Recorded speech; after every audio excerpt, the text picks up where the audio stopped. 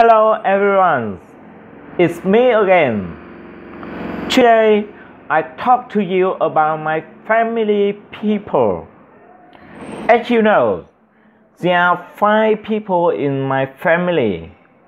My father, my mother, my brother, my sister and me. My parents is retirement. They are 60 middle age. My father is tall about 180 centimeter. He, he has short black hair and square He always follows rules exactly. The statement, the statement. My mother is opposite him. She is a short, just about 150 centimeter. Her has long black hair and square face same my father. But her is really funny and friendly.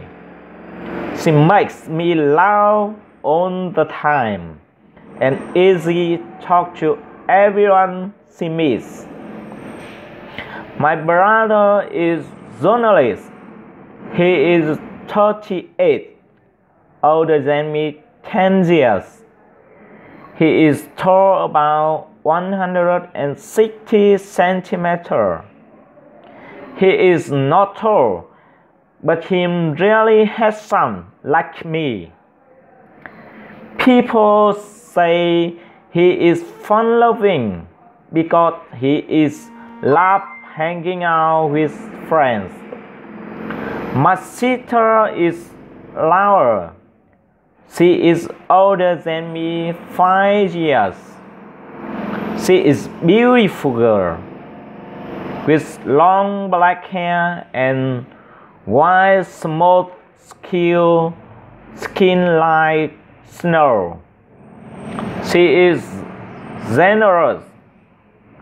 Her give me anything, but she does expect anything in return with me. Final member of my family is me. It's fact, I'm a best man in the world.